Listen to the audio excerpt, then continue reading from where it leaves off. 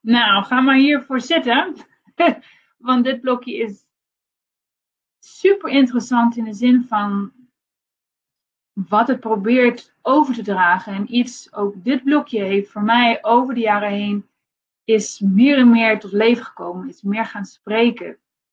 Veel meer nog in de zin van uh, dan een hele hoop dingen die vrij snel duidelijk te maken, duidelijk zijn. Dit, dit blokje daadwerkelijk is, als het tot leven komt, uh, hoe, hoe zeg je dat? Ik had in mijn eerste boek van Swami Jay, en uh, dat is deze, dat is uh, letterlijk wat er op de website staat. Ik heb hem er even bijgepakt voor vandaag, dat ik niet altijd doe, maar voor deze wou ik toch nog heel even checken wat er allemaal daarin benoemd wordt.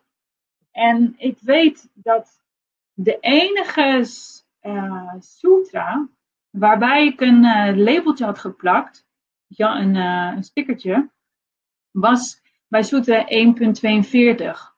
Omdat dat een van de weinige sutras was die, die ik niet begreep in het begin. En, en deze sutra, nu ik hem tot het niveau dat ik hem nu begrijp duidelijk heb, is dan ook een van de grootste ontdekkingstochten geweest om te begrijpen, gekoppeld aan directe ervaring. Dus daar ga ik proberen ook vanuit te spreken. Geen idee of ik dat compleet vlekloos doe, maar we gaan aan de slag. Yoga is het opzij zetten van de beweging in het veld van de mind, zodat het zelf naar voren komt. Dan rust het zelf in zijn ware aard. Wat we dus kunnen, hoe we dus kunnen beginnen, is dat we het zelf deze beweging van het veld heeft aangetrokken als zijnde identiteiten. En dit is dus een oogschijnlijk verbond aan, laat, aan gegaan. En dat verbond gaan we langzaam doorbreken. We gaan langzaam leren onderscheiden wie je wel bent en wie je niet bent. En dat wat je niet bent, is allemaal onderhang, uh, onderheven aan tijd, ruimte, oorzaak en gevolg, aan komen, zijn en gaan.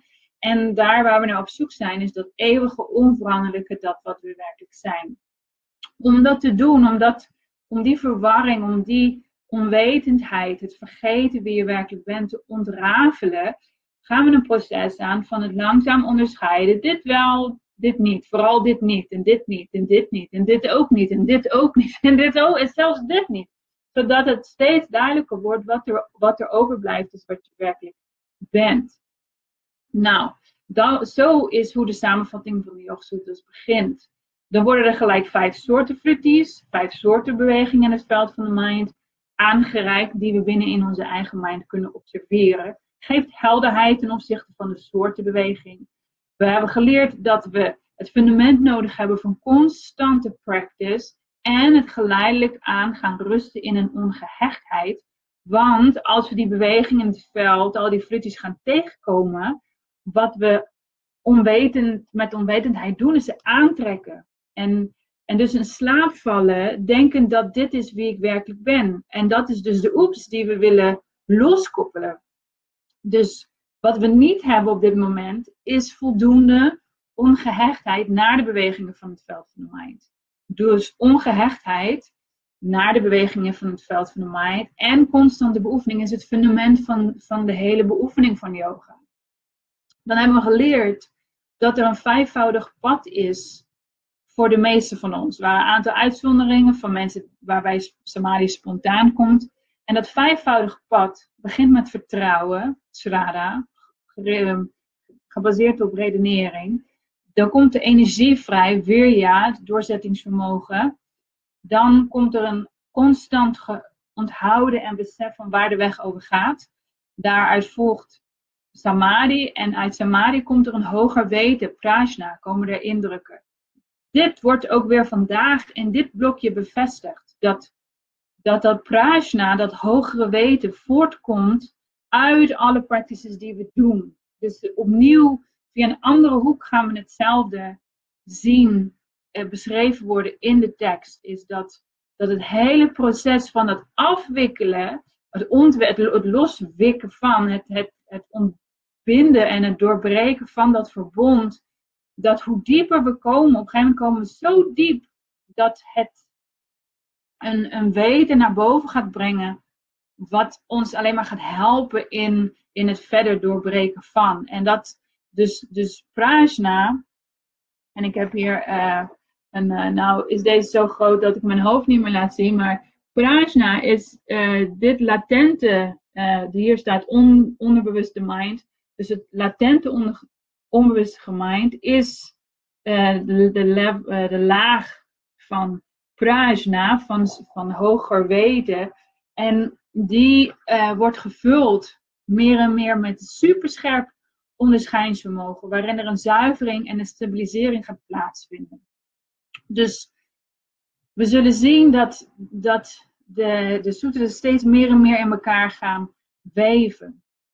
Nou, dan zijn we de jakkie dingetjes tegengekomen, want iedereen zijn weg gaat op en neer. Er is soms ziekte, er is soms luiheid, er is soms zelfs uh, angst en, en een onregelmatige ademhaling en al dat. Dan hebben we geleerd dat eenpuntigheid is de oplossing. Het leren kunnen richten op één punt. Dus wat helemaal in het begin van de Yoga Sutras werd aangereikt als de staat van de mind waardoor yoga ontstaat, dat is namelijk Naroda, waar de mind compleet wegvalt.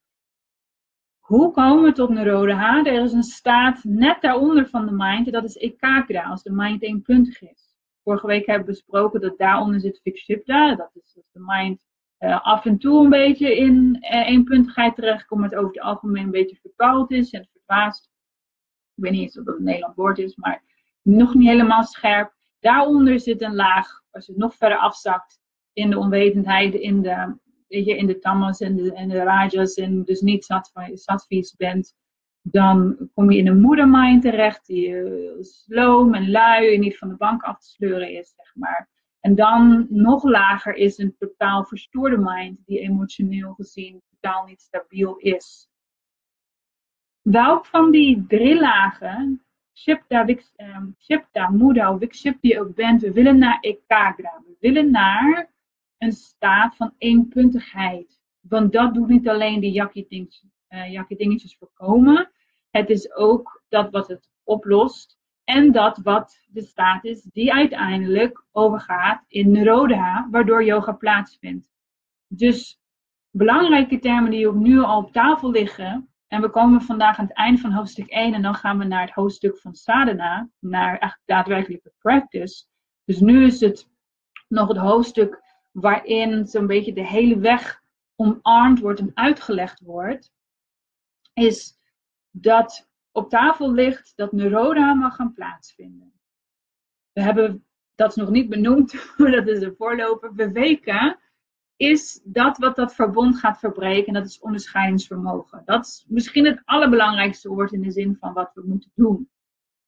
En namelijk onderscheidingsvermogen creëren. Wat ben ik wel, wat ben ik niet. En, en we willen daarin de mind ontwikkelen. We willen de mind van een Chipta naar Muda, naar Vikshipta, naar uiteindelijk Ekagra brengen. Want dat doorbreekt alle dertien jakkie dingetjes en het voorkomt het. En uiteindelijk zullen we zien in het volgende hoofdstuk dat die Ekagra, die natuurlijk opgebouwd wordt, langzaam van concentratie naar meditatie naar samadhi gaat.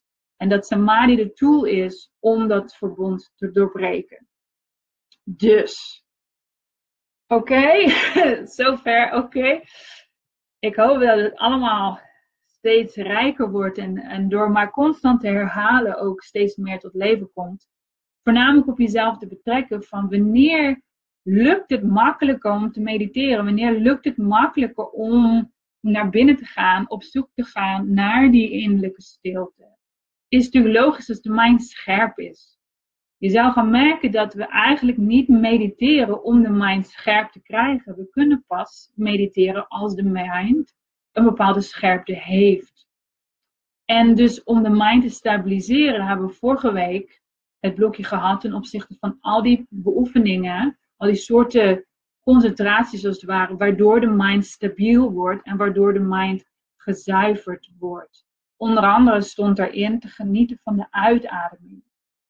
Dus als eerste mogen we de bewuste mind gaan stabiliseren. Dat betekent dat in de meeste gevallen de bewuste mind niet stabiel is.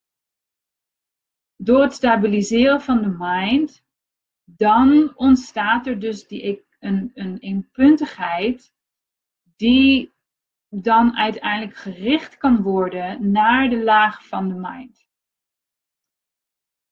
Welk blokje namelijk er ook nog hadden al besproken, omdat ligt ook al op tafel, is dat er vier soorten lagen van fritties zijn, die een soort van categorieën vormen, die we tegen gaan komen op de weg van golf naar subtieler, naar subtieler, naar subtieler, uiteindelijk voorbij de mind waar het zelf in zijn ware aard rust. Dus ook deze vier categorieën waren al aangereikt. Dat is Vitarka, Vichara, Sananda en Asmita. Dus er is een laag van grove objecten. Er is als het ware beweging in het veld van mind van meer subtiele objecten. Dan komen we bliss, uh, gelukzaligheid zelf tegen. Want als die grove en subtiele bewegingen wegvallen, dan is er nog steeds een soort van. Uh, dan is er niet soort van, dan is er een, een gevoel, een ervaring van bliss. Maar dat is nog steeds gekoppeld, ge, verstrengeld, één met een gevoel van ik. Namelijk, want daaronder zit nog steeds iets subtieler en dat is namelijk asmita. Dat is de tweede klesha van ikheid, van een individu zijn, de fijnste individualisatie. Dus die lagen, die gaan we tegenkomen op onze weg naar binnen. Om er weer even bij halen. Je kan ze hier niet op zien, maar, maar van onze weg die van hier naar hier gaat, via lichaam en adem en bewuste mind, actief onbewuste mind en, en via de latente, of door de latente heen naar ons ware zelf. Op onze weg naar binnen gaan we dus die vier lagen, vier verschillende tegenkomen. Oké. Dus, met dat allemaal gezegd, dit volgende blokje is een blokje wat een aantal sutras bevat, die misschien niet allemaal gelijk in zijn volledigheid te begrijpen zijn. Aan de andere kant denk ik en hoop ik dat we er een, een draai aan kunnen geven dat het wel tot een bepaalde hoogte begrijpbaar is. En ik dacht dat ik mijn scherm groot had, maar het was klein. Maar goed, dus daar hoef ik nu niks aan te klikken. Ik moet even hier naartoe. Oké, ik ga het eerst gewoon doorlezen. En neem het tot je in en kijk wat er al aan innerlijke wijsheid naar voren komt. Want al die wijsheid zit in je, diep verstopt, misschien of bedekt. De mind komt werkelijk onder controle als, door middel van dergelijke oefeningen die in het vorige blokje besproken waren, de mind het vermogen ontwikkelt om stabiel te worden op zowel het allerkleinste als het allergrootste object. Nou, de verleiding is om gelijk dingen te zeggen, maar ik ga het eerst doorlezen. Als de modificaties van de mind zijn verzwakt, wordt de mind net als een transparant kristal en kan daardoor gemakkelijk de kwaliteiten aannemen van elk object dat geobserveerd wordt. Het zij dit object de observeerder is, of het middel van observeren, of het geobserveerde object is. Dus daardoor makkelijk de kwaliteiten kan aannemen van het object. Of dit nu de observeerde, het middel van observeren of het geobserveerde is. In een proces van diepe belangstelling. Geheel opgaan in absorptie, genaamd samapati. Eén zo'n soort van diepe belangstelling, geheel opgaan in of absorptie, samapati, is er één waar in er een combinatie is van drie dingen. Een woord of naam dat bij een object hoort, de betekenis of identiteit van dat object en de kennis geassocieerd met dat object. Deze diepe belangstelling, geheel opgaan in absorptie, staat bekend als Savitarka Samapati, geassocieerd met grove objecten.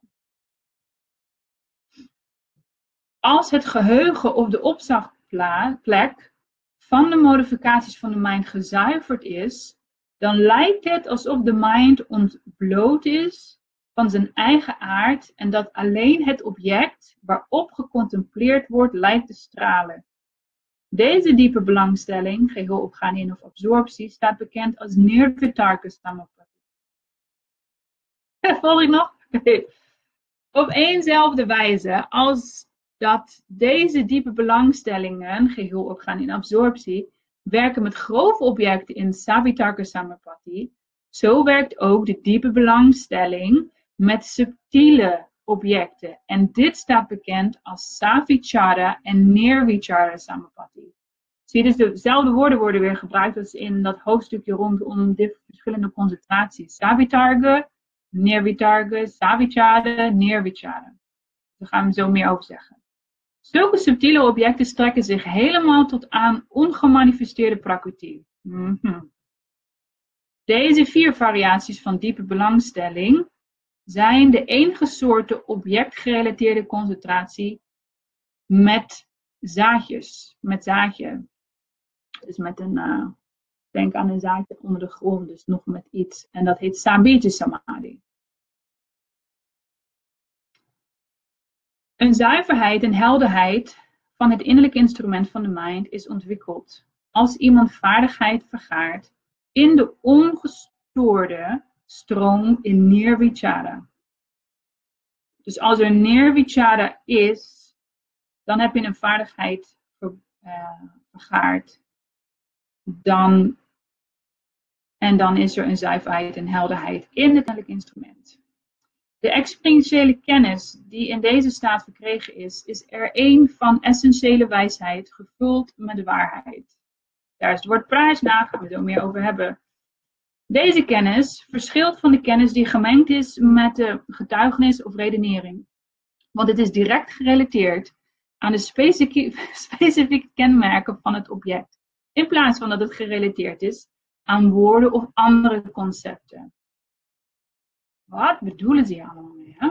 Dit soort kennis, dat gevuld is met waarheid, creëert latente indrukken in het veld van de mind, prajna.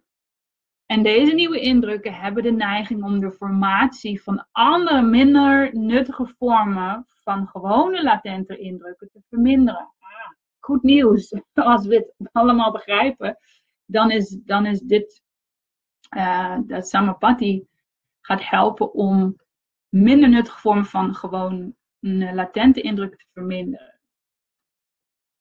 Als zelfs deze latente indrukken van kennis gevuld met waarheid zich samen met alle andere indrukken terugtrekken, dan is er objectloze concentratie, neerbija samadhi. En dat is oké. Uh, dit is de laatste sutta van dat hoofdstuk. En hier inderdaad staat, onder elk blokje staat altijd bedankt, uh, je kan zien wie me heeft geholpen, wie het heeft vertaald. Uh, dat doe ik bij elk artikel en elk iets van op de Nederlandse website. Ik ben ontzettend dankbaar. Oké, laten we beginnen met het een beetje duidelijker te maken.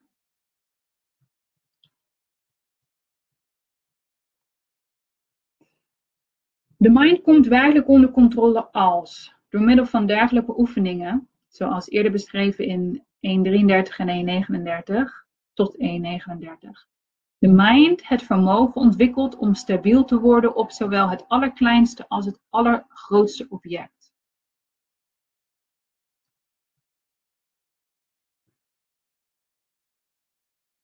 Dus, en ik zou blijven kijken naar de sutra, maar ik denk dat het makkelijker misschien om gewoon alleen naar mijn gezicht te kijken. Als dat niet zo is, dan hoor ik dat graag. De mind komt werkelijk onder controle als je dus op iets heel groots en iets heel kleins kan richten. In het vorige blokje werd dus benadrukt dat het om ekakra gaat. Dat we de mind willen kunnen stabiliseren en willen kunnen zuiveren. En er waren een aantal voorbeelden benoemd waardoor de mind stabiel, waardoor de mind stabiel gemaakt kan worden. Maar als laatste zeiden ze dat je elk object kan uitkiezen waar je ook maar uh, een, een, een, uh, een voorkeur voor hebt. We gaan de mind dus geleidelijk aan in on, al onze practices, al de beoefeningen die we doen, gaat langzaam die mind steeds beter en beter stabiel worden. Steeds meer en meer in een constante stabiliteit terechtkomen, waardoor het zich makkelijker kan gaan richten naar welk object dan ook.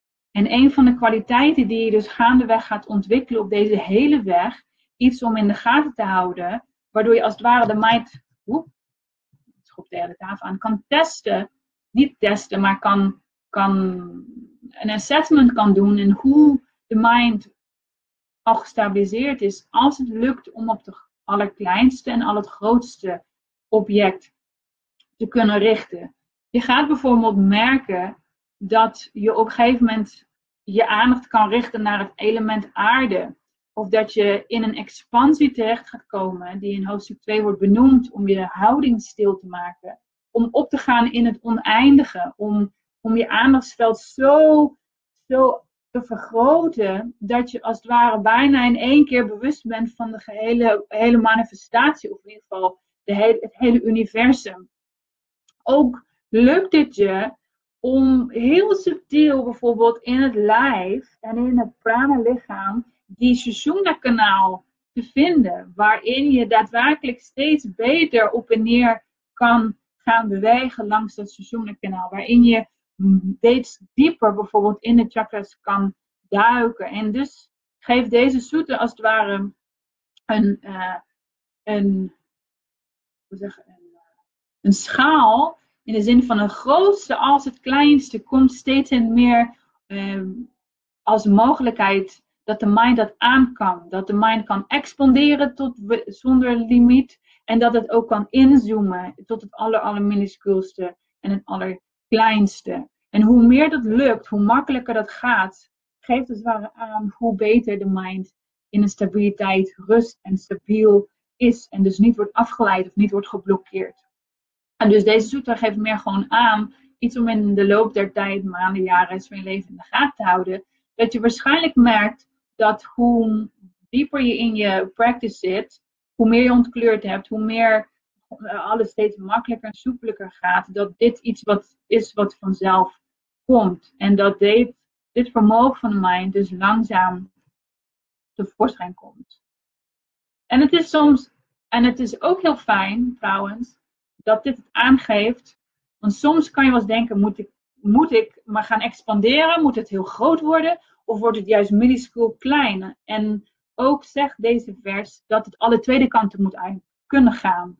Dat de mind dus zowel naar het allerkleinste moet kunnen gaan als naar het allergrootste.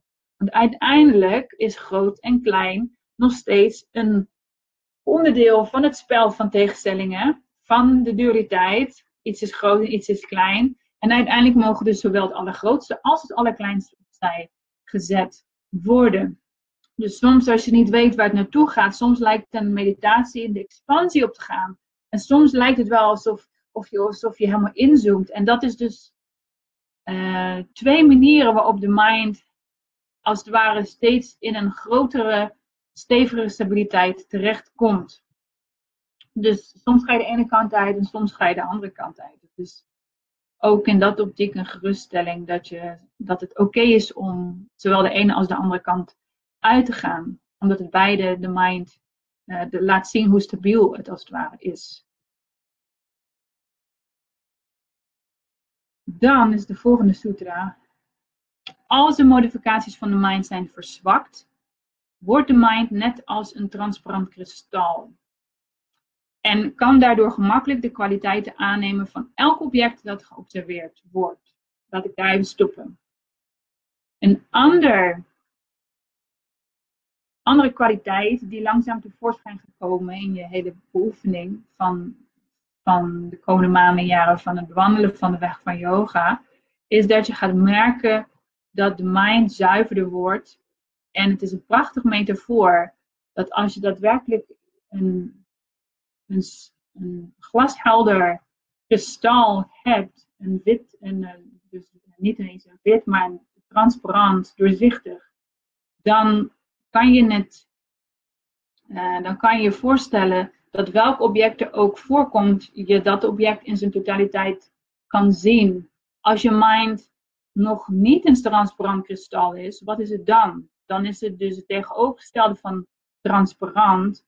Dan is het uh, beslagen, dan is het vies, dan is het nog dat het troebel is, bijvoorbeeld. En misschien zelfs dat het niet transparant is in de zin van dat het helemaal, helemaal ehm, eh, afgeblokt wordt, je beeld. Natuurlijk wordt uh, langzaam die mind-to-mind steeds helderder en de troebelheid wordt steeds minder. En dus wordt het steeds scherper en steeds transparanter.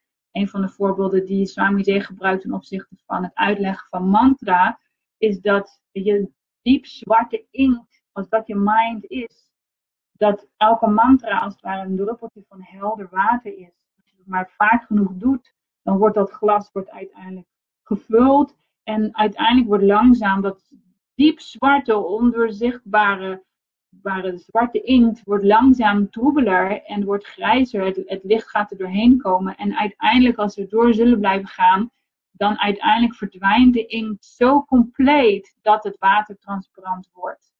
Dus dit is wat er langzaam met de mind gaat gebeuren.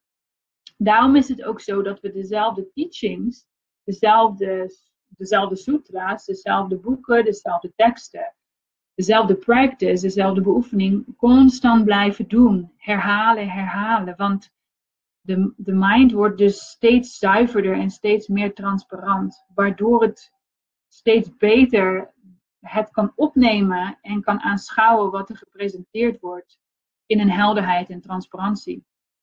En dus al hoor je honderd keer over de vier functies van de mind, of al ga je honderd keer door de sutras heen, elke keer zou je weer meer helderheid krijgen, omdat de mind zelf steeds transparanter wordt. Is het als een transparant kristal, dan kan je je voorstellen dat het beeld niet beïnvloed wordt door wat er nogal in de mind zit. Nu, als we de buitenwereld ingaan, dan wordt de mind constant beïnvloed door de beweging in het veld van de mind. De mind is alles behalve transparant. en kijken we dus ook, bekijken we de buitenwereld met een andere blik. Een uitspraak is een roze bril. Dus als we een roze bril op hebben, dan zien we de buitenwereld allemaal veel rooskleuriger. rooskleuriger. Hebben we een meer depressieve uh, donkere bril op, dan is ook de buitenwereld, hoe, hoe mooi of transparant die ook kan zijn, is, is beïnvloed door, door die blik. En wat maakt een kristal, of in dit geval de mind, niet transparant? Dat zijn de klesjes die we in het volgende hoofdstuk gaan tegenkomen. De kleuringen. Letterlijk kunnen we dus bedenken dat de mind een helder kristal is, echter gekleurd dus de troebelheid van de clichés maakt dat het niet transparant is. En dus opnieuw is daar gelijk de oplossing, namelijk de kleuring weghalen en mind wordt eh, zo transparant als een kristal. Nou, dan kan het dus, het is niet het einde van, het, het einde van de weg. Oh. Want als de mind eenmaal transparant is, dan kunnen we dus met een helderheid gaan richten naar objecten waardoor nog meer duidelijker wordt. En het maakt niet uit of dat object, dit keer misschien uh, is iets om over te contempleren, of dit object nu de observeerde zelf is, dus dat wat observeert, het middel van observeren, of het proces van observeren, of het geobserveerde project. We gaan zien dat je hebt observeerder, het observeert en er is een object. Dat zijn drie componenten. Object, een observeerder en de connectie tussen de twee is het proces van observeren.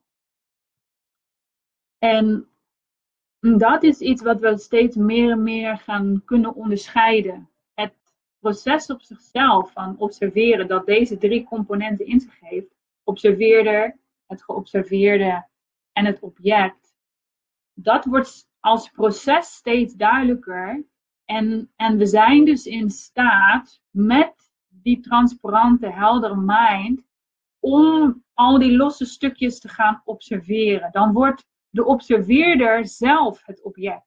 En dat klinkt misschien een beetje tegenstrijdig, maar uiteindelijk kunnen we zelf de aandacht richting naar Boedi, naar dat wat observeert binnen in het veld van de mind. En het proces van observeren en uiteindelijk, uiteindelijk kunnen we dus alles binnen in de mind object maken. Dat is wat hier gedaan, gezegd wordt. En dus het met een transparant kristal, de mind als zijnde transparant kristal, dus hoe transparanter, hoe makkelijker het wordt.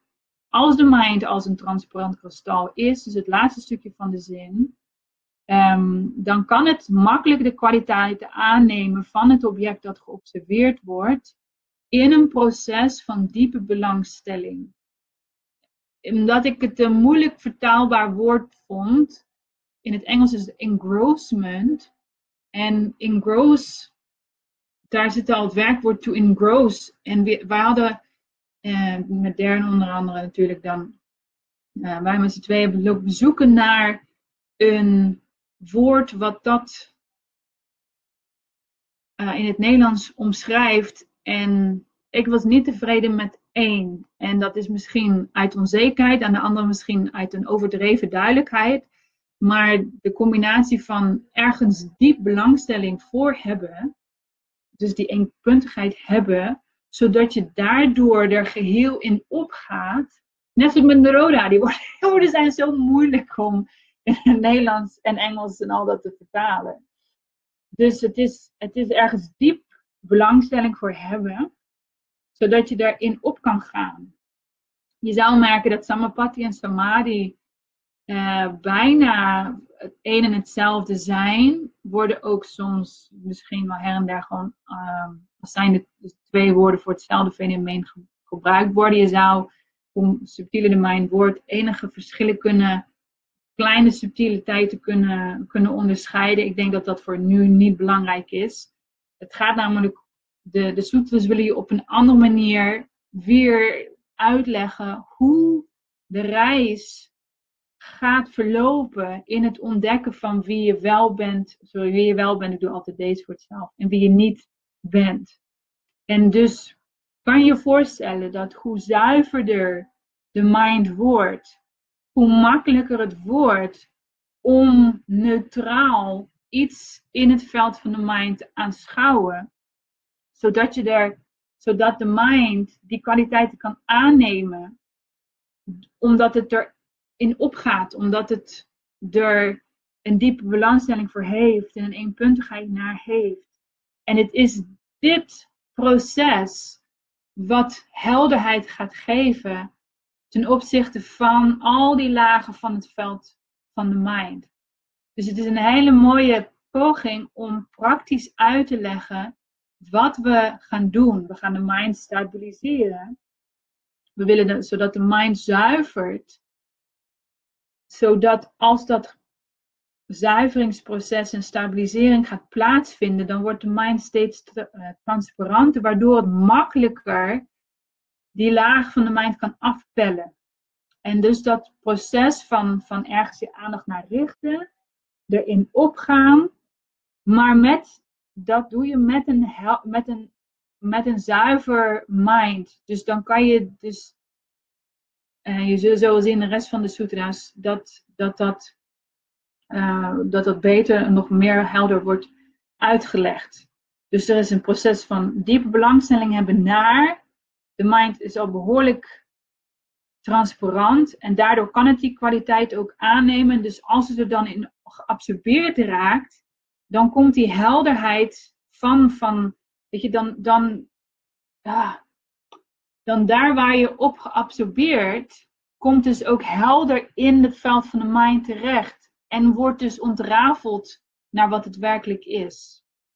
Je zou namelijk merkelijk, je zou zien dat als de mind nog niet zo een helder kristal is, dan is de mind dus zelf al troebel. Gaat het zich dan ergens op richten, dan, dan heb je dus dat je, net zoals dat je met een roze bril de wereld roze ziet, dan zie je dus ook dat object niet helder en niet zuiver. En dus lukt het je ook niet om dat object, wat je tegenkomt in het veld van de mind, om dat volledig te kunnen ontrafelen. Zo, dat is wat ik wil zeggen. Dus ik ga het even herhalen. Als de mind nog niet zuiver is, dan kan de mind als totaliteit, als het je in beoefening met de aandacht naar binnen gericht is, dingen tegen gaat komen in het veld van de mind, dan is het logisch dat er een mengeling is van, van jouw kleuringen ten opzichte dan wat je aan het observeren bent. En dat het dus niet lukt om volledig die, dat object te kunnen ontrafelen en te kunnen ontdekken wat het werkelijk is, omdat je mind nog niet scherp genoeg is. Dat geeft niet, want hoe je gaat ergens op richten, je krijgt wat helderheid, de mind wordt wat scherper, waardoor kan je weer op hetzelfde onderwerp richten, daardoor wordt de mind weer wat helder en zo merk je dus hoe dit hele zuiveringsproces van de mind geleidelijk aan gaat plaatsvinden. En dus het leren richten, die eenpuntigheid leren kunnen opbouwen door de mind te stabiliseren, de mind dan kunnen gaan richten, ergens op geabsorbeerd raken. Dat proces is wat we aan het doen zijn en dat wordt in hoofdstuk 2 ook herhaald. Dat is samima, om nog maar een ander woord erbij te gooien. Dus, dus nou hebben we samapati als zijnde eh, absorberen en belangstelling hebben voorlicht op tafel. Dan gaan ze daar verder op in. Dat één soort, één manier, één, niet een manier, maar één zo'n soort van ergens diepe belangstelling voor hebben, zodat je erin opgaat, samapati is er één, en ik had het al eerder gezegd, deze sutra was de enige sutra in mijn Yoga Sutra boek die ik van, die van Swami heb. Dus Swami is een Engelse versie waar we de versie van vertaald hebben, waar ook onwijs veel prachtig commentaar in staat. Uh, Swami Jay heeft, is de reden dat de sutras helder zijn voor me, zoals ze nu zijn. Zijn uh, manier van uitleggen en en uh, commentaar geven op is ongelooflijk. Um, dat, was de, uh, dat was de zoete in het hele boek die ik had. Um, ik in, het, in het Engels noem je het zo'n zo tab, een stickertje. Die je zo op je pagina kan plakken, waardoor er aan de buitenkant iets uitsteekt. Zodat je altijd je weg ernaartoe kan vinden. Ik weet niet hoe dat. Een geel, zo'n geel. Um,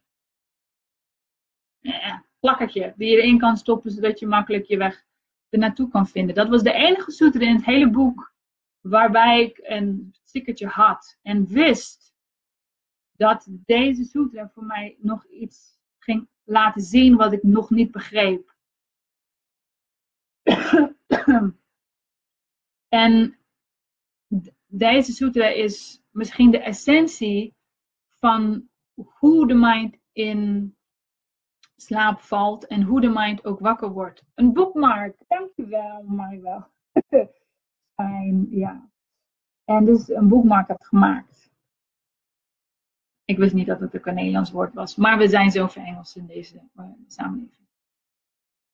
Oké, dus één zo'n soort samapati staat bekend, en dan ga ik even gelijk naar de einde, staat bekend als Savitarga Samapati. Nou, Vitarga, dat kennen we van die lagen van concentratie, dat is grof. Dat is de laag van grof. Sa betekent met.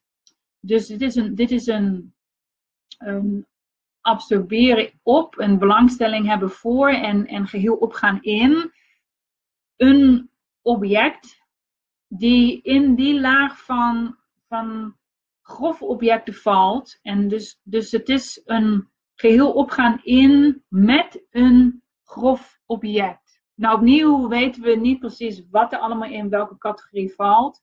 Maar het laat heel duidelijk zien, we beginnen grof, dan wordt het subtieler, dan uh, gaan we steeds dichter bij het ware zelf. Dus één zo'n diepe belangstelling hebben voor, één zo'n samapati, is sabatarga, dus met een grof object. Oké. Wat houdt dat in? Deze samapati is er één, dus deze Savitarga samapati is, dus is de samapati, is de diepe belangstelling hebben voor een, een uh, grof object, waarin er een combinatie is van drie dingen. Een woord of naam dat bij een object hoort. De betekenis of identiteit van dat object en de kennis geassocieerd met dat object. En dit is iets wat je gaat ontdekken binnenin het veld van de mind.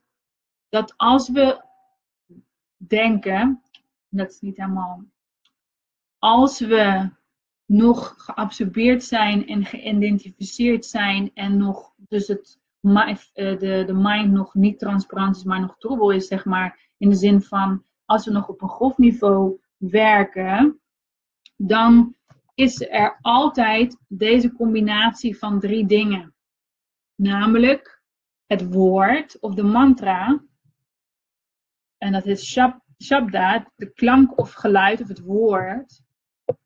De, uh,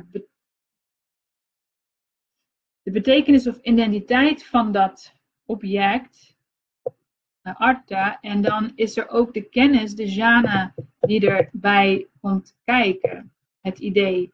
Nou, hoe dit wordt uitgelegd door een van de meest gerespecteerde commentaren, is Vyasa, al eerder benoemd, is dat Vyasa het voorbeeld gebruikt van een koe. En mensen die in India zijn geweest weten dat er behoorlijk wat verschillende koeien overal her en der rondlopen. Uh, Swami J die zegt, nou niet heel veel mensen hebben allerlei koeien om zich heen. Nou heeft Nederland behoorlijk wat koeien om zich heen. Maar hij ging voor het object appel. Dus dat wat je eet, niet de computers. En om uit te leggen dat een appel heeft een mantra, namelijk het woord appel. En met het herinneren van dat woord appel, merk je dat er automatisch, als we in het grove denken zitten, als ik dat even zo mag noemen, als we dus in die vitarke laag zitten, dan komt dat woord omhoog en dan komt er direct een beeld omhoog wat gebaseerd is op geheugen. Dat woord geheugen wil ik alvast noemen, want het komt later weer terug in de volgende paar sutra's, is dat er dus met het onthouden van het, met het herinneren van het woord appel, komen er gelijk beelden omhoog van wat dat woord inhoudt. Ik zeg roze olifant en gelijk uit het geheugen kan je, het is natuurlijk een combinatie van kleur en komt er een, een beeld van een olifant omhoog. En welk beeld er omhoog komt van welke appel of van welke olifant, of Swami in zijn boek gebruikt ook het voorbeeld van auto, is natuurlijk gebaseerd nog heel erg op welke auto's, appels of olifanten we ooit gezien hebben. En er zullen waarschijnlijk ook een aantal verschillende omhoog komen van mogelijkheden die allemaal gerelateerd zijn aan de mantra appel. Dit vertelt ons iets over hoe de mind werkt. Bijvoorbeeld een waanzinnige film om hiermee te bekijken is uh, Temple Grandin. Ze is een autistische uh, inmiddels professor. En haar verhaal ten opzichte van, nou, en ik heb het er wel vaak over gehad, ik weet een aantal mensen die misschien inmiddels hebben bekeken. Zij denkt in plaatjes. Zij denkt niet in woorden. Dus zodra ze iets hoort, ziet ze het. En dat werd een van haar leraren duidelijk toen hij geloof ik iets vroeg over schoenen. En toen zei ze, ja, ik zie de, de schoenen van die ik mijn hele leven gedragen heb. En dan zag je dan ook in de film allerlei verschillende soorten schoenen voorbij komen. De schoenen van de advertenties die ik heb gezien. En dan zag je hoe briljant ze was, want ze kon letterlijk bijna zeg maar alle schoenen van, die ze in de hele leven had gezien, kon ze herinneren. Daardoor heeft ze fotografisch geheugen. En wat deze sutra probeert aan te reiken, is om dit binnen in jezelf te gaan ontdekken dat hoe werkt de mind op een grof niveau, in, als, als het zeg maar heel extern beweegt, dan is er altijd een combinatie van deze drie dingen. We horen een woord, of we zien een specifiek iets, dan komt het woord er gelijk bij. Maar deze twee gaan altijd met elkaar vermengd. Die worden altijd met elkaar uh, verweven. Het woord komt op, het beeld komt erbij. En het beeld wat omhoog komt, is altijd specifieke voorbeelden die we putten uit onze eigen ervaring. Dus die zijn gebaseerd op geheugen. En of dat geheugen nou gecombineerd is met fantasie. Fantasie kan ook alleen maar plaatsvinden met een laag van geheugen. Dus alle appels die je kan bedenken, zijn over het algemeen alle appels die je bent tegengekomen. Misschien vanuit daaruit kan je creatief nog, nog allerlei rare appels bedenken. Maar ze hebben allemaal iets gemeen. Ze hebben allemaal met iets, elkaar, iets in, met elkaar gemeen. Ze hebben allemaal bepaalde dingen die, die specifiek zijn aan een appel. Wanneer wordt het geen appel? Wanneer verschuift het naar mandarijn of misschien verschuift het naar een peer? Als het, weet je, als het net een klein zo'n dingetje heeft, dan zeggen we misschien, jeetje, deze appel die lijkt wel heel erg op een peer. En dus verliest het bijna zijn, zijn kwaliteit van het zijn van een appel en gaat het over in het zijn van een peer. Temple Brandon, bedankt uh, Ineke voor het neerzetten van de titel.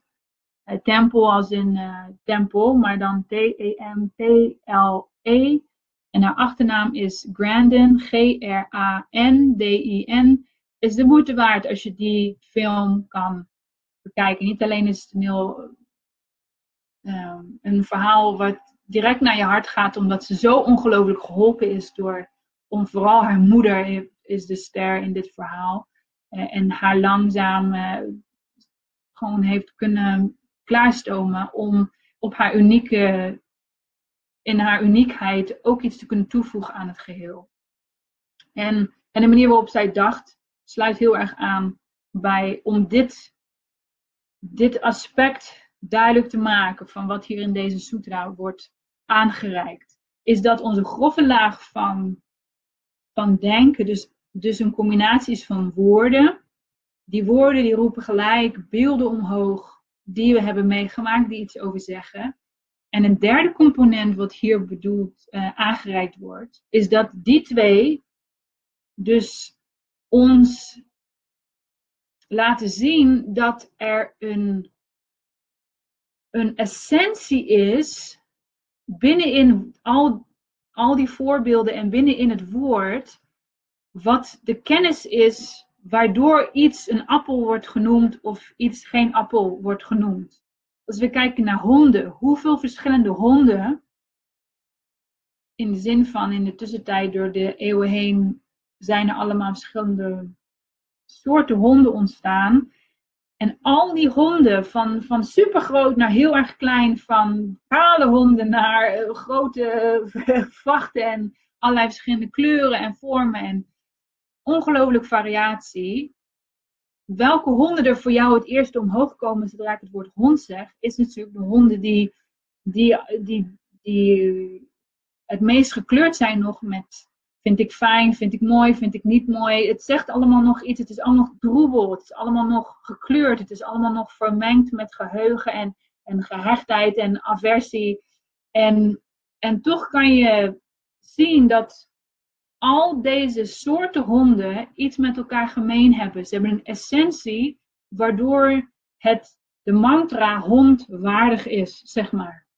Nou weet ik dat sommige mensen debatteren over de hele kleine hondjes en dan worden er meer ratjes gezien bijvoorbeeld.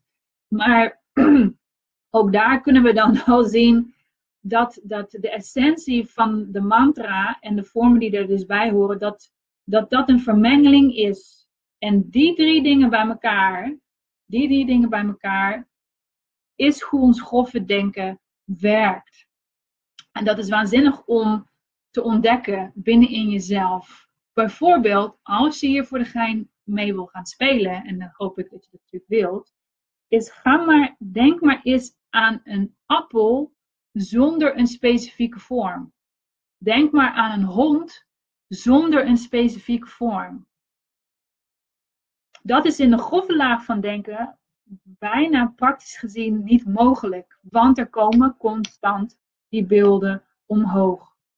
Dus als we geabsorbeerd raken in iets, en natuurlijk willen we niet per se samadhi gaan uh, op honden, maar om dit maar als voorbeeld te noemen, is dat als we dus geabsorbeerd raken in het concept, in het fenomeen, in het woord de mantra en alles wat erbij hoort hond, dan als we daar onze aandacht naar richten, we hebben daar belangstelling voor en we gaan er uiteindelijk geheel in op, dan is dat dus in het begin, als het nog vitarka is, altijd die combinatie van woord, van specifieke honden die voorbij zullen schieten en waar de mind dus zichzelf op, de mind op kan richten, en de essentie die langzaam naar voren komt.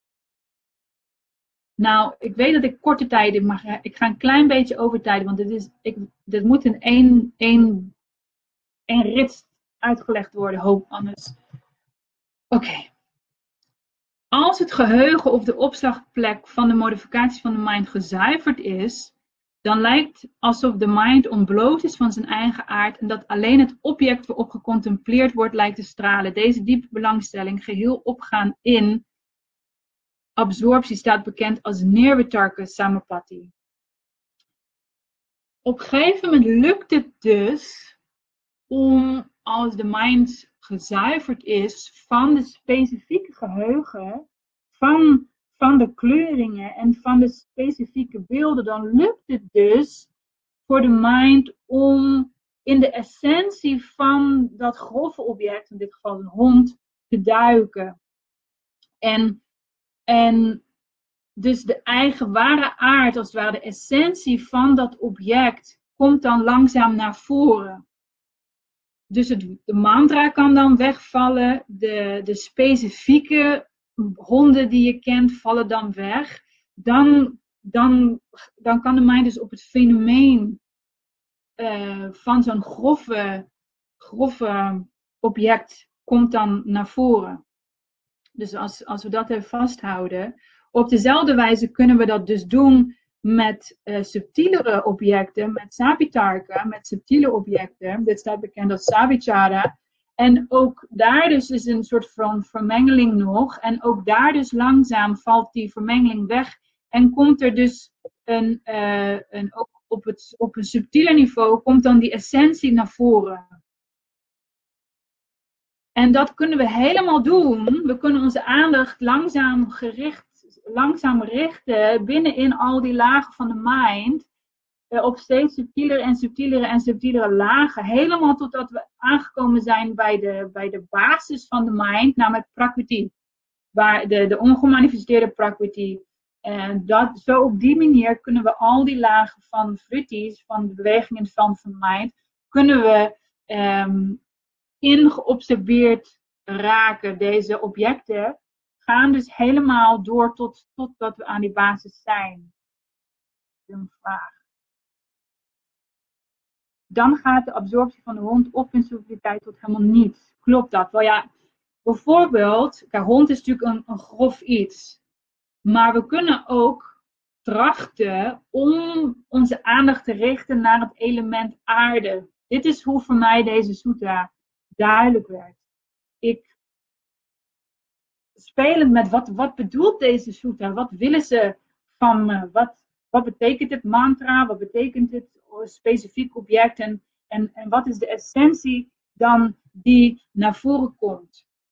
En dus, nou ja, lezen samen met deze commentaar. Uh, op een gegeven moment gaan zitten met het element aarde. Denken van, wetend van, van het commentaar van Sutra 1.17 en 1.18, is dat, uh, dat onder andere in de Vichara, dus de subtiele laag van objecten, de elementen zelf zitten, of de Indria's zelf zitten. Dat oké, je hond, daar, of, of appel of auto, daar kon ik inderdaad zien van hé, hey, ja, de auto's die naar voren komen zijn allemaal gebaseerd op mijn geheugen. En ze hebben allemaal met elkaar gemeen dat het een auto is. Wanneer wordt het een tractor? Wanneer wordt het een fiets? Wanneer wordt het een, een motorvoertuig? Dus, dus dat was het spelen met het begrijpen dat het die combinatie is van die drie.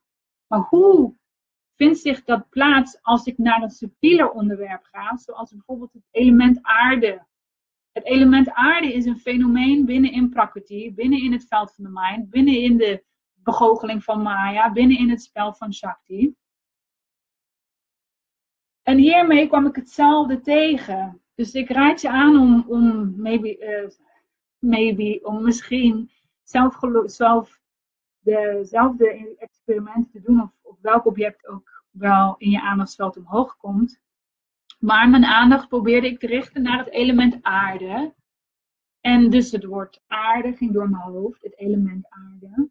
Wat komt er omhoog? Door dat te doen kwamen er beelden van uh, plantenpotten. De wereldbol kwam naar voren.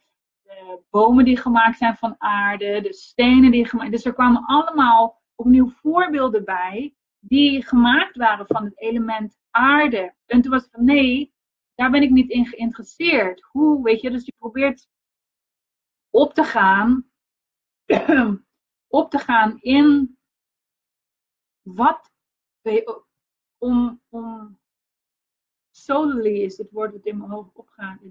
Solely is Engels. Dus enkel om alleen maar op de essentie van wat is aarde als het ware. Wat is het element aarde? Nou, dan kan ik bijna niet uitleggen wat er dan gebeurde. Maar die, die diepe belangstelling hebben naar dat fenomeen van aarde en het woord en de specifieke weg laten vallen, kwam langzaam de essentie van aarde omhoog. Lukte het totdat hoeverre, want mijn mind is absoluut nog niet zoals het transparant kristal constant. Maar door die poging werd het, merkte ik wel hoe het mogelijk werd. Want, want het geheugen en de specifieke objecten en alles om viel weg.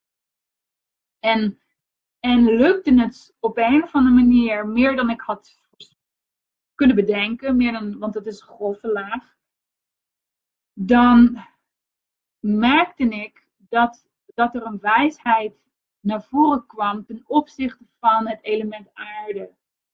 En, en wat we, daar moeten we even doorlezen nog, en dan ga ik even over de tijd, het is niet heel lang meer, want dan zullen we zien door dat soort oefeningen te doen, door je aandacht ergens op te richten en door langzaam de woorden en de beelden weg te laten vallen, want het komt met allerlei dingen omhoog.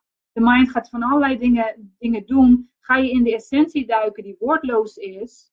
En kom je uiteindelijk dus ook achter die essentie en dus het, als het ware het zaadje, dat, dat waaruit al die vormen opkomen en ontstaan, zeg maar, komt tevoorschijn. Daarom wordt bija, uh, met zaadje, samadhi wordt benoemd hier, is dat, uh, dat daaruit voort, en dan moet ik even deze uitzetten, maar daaruit voort komt er dus en als je dus, dus dit is, nou, tot hoe diep kunnen we ergens op uh, geabsorbeerd zijn, helemaal tot aan on, ongemanifesteerd prakriti. Deze vier variaties van diepe belangstelling zijn allemaal nog met een zaadje. Zijn allemaal nog object georiënteerd. Dus het is allemaal je aandacht leren richten naar de essentie van deze fenomenen, van deze vritties in het veld van de mind. Uh, een zuiverheid en helderheid van het innerlijke instrument van de mind is ontwikkeld als iemand vaardigheid vergaart in de ongestoorde stroom van Nirvichara. Dus kan je voorstellen dat het op een of andere manier lukt om, om je aandacht, om geabsorbeerd te zijn in de, in de essentie van aarde, bijvoorbeeld, die ongestoord daar naartoe stroomt. Dus dat is het enige waar je aandacht naartoe stroomt. Ja, dan is het logisch dat er dus een vaardigheid uit voorkomt dat de mind uh, de zuiverheid en helderheid van het instrument van de mind is ontwikkeld. Dat je dat, daarmee dus de mind nog scherper maakt en nog meer een transparant kristal maakt. Want de experientiële kennis die in deze staat verkregen is, is een van essentiële wijsheid gevuld met waarheid. Dus hier komt een, uh, een, een, laag van innerlijke wijsheid naar voren van Prajna. En waar, waar ik dus al eerder de link mee wou leggen. Deze kennis verschilt met de kennis die gemengd is met getuigenis of redenering, want het is direct gerelateerd aan de specifieke kenmerken van het object, in plaats van dat het gerelateerd is aan woorden of andere concepten. Dus je gaat om met andere woorden, je gaat naar de essentie van dat object. En het is niet meer geassocieerd met woorden. En het is niet meer geassocieerd met specifieke voorbeelden en andere concepten om dit uit te leggen. Je gaat daar naar de hart, naar de essentie van het object, door er je aandacht naartoe te richten. En deze kennis, die gevuld is met waarheid, terwijl de essentie komt steeds meer naar voren, die waar die essentie, die, die, die staat van zijn, die creëert ook weer latente indruk. Oftewel de wijsheid die naar voren komt, die wordt ook weer opgeslagen in Prajna. En dus dat wordt een onderdeel van de totaliteit van de mind, waardoor dus door middel van deze nieuwe indrukken um, um, de, de formatie van andere nuttige, minder nuttige vormen van de mind vermindert. Dus hoe meer je van de mind vult met de essentie, hoe meer er meer uh, oppervlakkige noise zeg maar, wegvalt. En daardoor kom je op een gegeven moment in een soort van stroomversnelling, omdat het en makkelijker wordt om te concentreren en minder van die oppervlakkige noise wordt, uh, wordt, wordt doorgestoord, valt weg. De mind wordt gewoon steeds zuiverder en zuiverder, waardoor je weer dieper kan concentreren, waardoor je weer meer in die essentie kan duiken, waardoor meer noise wegvalt, waardoor de veld van de mind meer met wijsheid en waarheid wordt gevuld.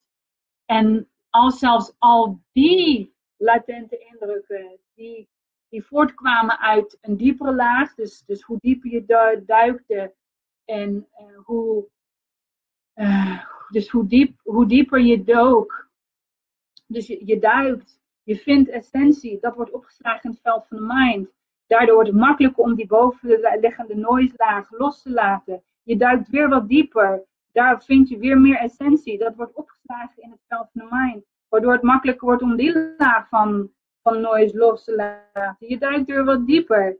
En, en daar, dus elke keer ontvang je meer en meer wijsheid dat allemaal opgeslagen wordt in die latente uh, collectie van, van van, van, van indrukken. En als zelfs op een gegeven moment natuurlijk de mind zo gevuld is met wijsheid en zo gevuld is met, met helderheid en inzicht en wijsheid van wie je wel bent en wie je niet bent, als dat zelfs wegvalt, dus ook daar mogen we op een gegeven moment ongehecht naar raken. En ook dat al werd al benoemd in het blokje van Vairagyan, dat op een gegeven moment we zelfs ongehecht gaan raken naar de teachings en naar alles wat uh, in de teksten wordt geschreven. Want dat is die wijsheid die we zelf gaan vergaren door middel van het proces. Maar dan in tekstvorm, dat is één en hetzelfde. Dat je uiteindelijk zelf gaat ontdekken, is één en hetzelfde. Als dat op een gegeven moment gaat wegvallen, dan, dan is er, dan, heeft, dan heet dat neerbija samadhi. Dan is er zo'n diepe concentratie, zo'n diepe absorptie, dat zelfs alle zaadjes zijn weggevallen. En dat is zo ongelooflijk dichtbij het ware zelf, dat je zou kunnen zeggen dat dat is als het de deur waarop je, van, waardoor door, dat, door daar te zijn, is als het ware kloppen op de deur naar het zelf, waardoor het zelf als het ware je naar binnen kan trekken. Dus opnieuw is dit een poging van de Yoga Sutras om uit te leggen hoe dat, hoe dat dieper gaan en, en uh, duiken in al die lagen van de mind en meer de essentie ervaren, meer de essentie ervaren. Dat wordt dan opgeslagen als latent indrukken. Wat hier ook benoemd wordt, heel ook nog kort, en dan, dan is het hopelijk, is dat uh, er in het begin, als je ergens samapati op doet, als je ergens je aandacht naar richt, dat het niet alleen een combinatie is van woord en specifieke uh, voorbeelden die bij dat woord horen, die allemaal die essentie in zich hebben. Dus een mengeling van die drie.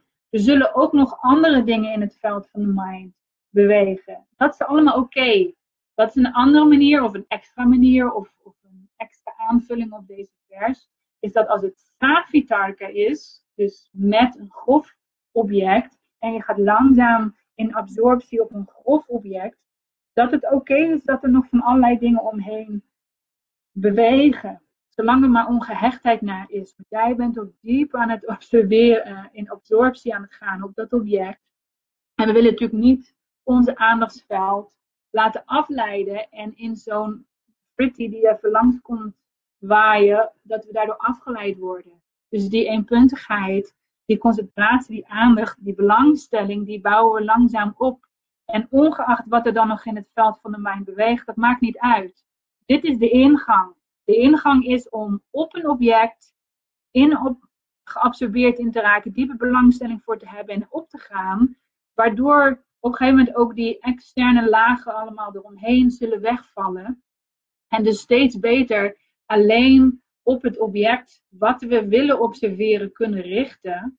En dit wordt in hoofdstuk 3 genoemd. Hoofdstuk 3 geeft een hele lijst van allerlei dingen waar we in kunnen opgaan, waar we onze aandacht naartoe kunnen richten, waar we van kunnen leren, waar we van kunnen ontdekken, waardoor we die, die, die connectie tussen wat we wel zijn en wat we niet zijn kunnen, om, kunnen doorbreken, waar we onze onderscheidingsvermogen naar kunnen richten. Dus we langzaam gaan we geabsorbeerd raken in iets. De andere bewegingen van het veld van de mind uh, vallen weg. Ook de woorden vallen weg en de specifieke beelden en, en, herinneringen die voortkomen bij dat concept waarop je in, waarin je op wilt gaan. Dat dus de essentie naar voren komt. Daar leer je van. En dat is op een woordloos niveau. Dat gaat zo diep. Maar dat geeft indrukken dat, dat die ervaringen worden ook opgeslagen in het veld van de mind. En die gaan je dan op een heel diep niveau helpen om steeds dieper en dieper en dieper te gaan. En dat mag op een gegeven moment wegvallen en dan ben je super dicht bij zelf. Realisatie. Nou, het is me gelukt om het in één keer te doen. En uh, we zullen het nog vele malen doen. Maar dit, oh, het, ik uh, ben uh, dankbaar dat het eruit kwam. En ik hoop dat het iets van helderheid in zich had. Waardoor je nog beter kan begrijpen wat het algemene proces is van diep in slaap zijn naar zelfrealisatie. Middels het proces van in diepe belangstelling hebben naar opgaan in, zodat een wijsheid naar voren komt. Ik kan niet anders doen dan dit naar alle leraren en boeken en pogingen van Sami Zee en Samyama en de lijn van leraren die daarachter staan.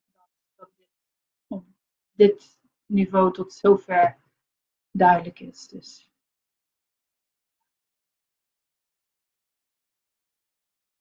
Hmm. Oké, nou, graag gedaan allemaal en uh, tot volgende week. en dan gaan we weer even een stapje terug doen en wat makkelijker, want dan gaan we met Kriya Yoga aan de slag.